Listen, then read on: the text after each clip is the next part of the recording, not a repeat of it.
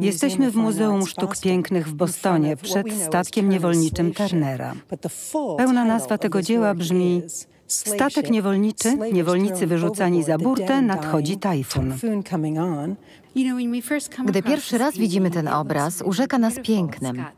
Są oranże i czerwienie i typowy u Turnera zachód słońca. Zatracamy się w gęstej zmysłowości farby.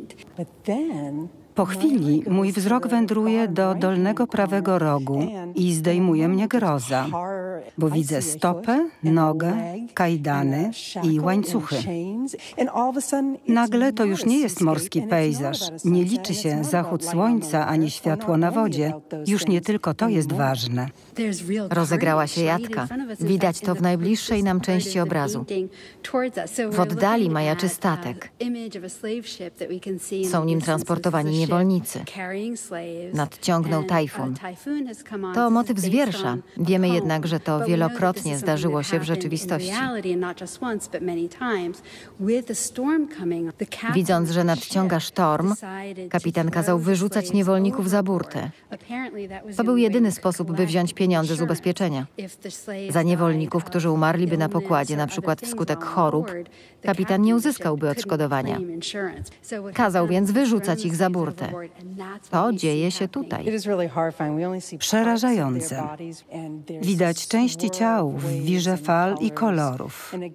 I znów, z pięknem i potęgą przyrody zestawiony jest potworny ludzki czyn w ramach jeszcze większej potworności niewolnictwa.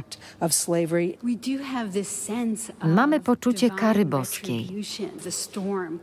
Nadciąga sztorm, by zabrać statek, gdzie ludzie tracą życie.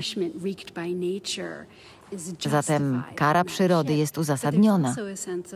Lecz przyroda jednocześnie wydaje się obojętna, bo ta sama burza, która pogrąży statek, zatopi przecież niewolników.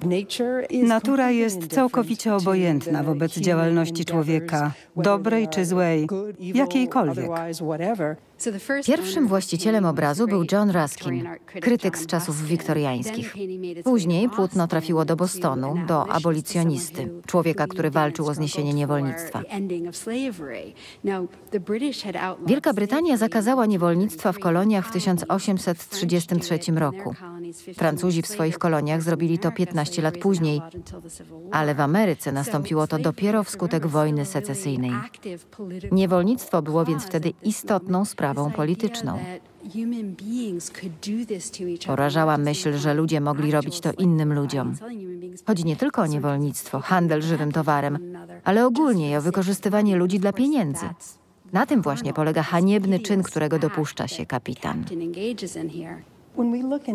Przy lewej krawędzi obrazu widzimy barwy inne niż w pozostałych jego częściach. Odcienie bieli, błękitu, fioletu i szarości.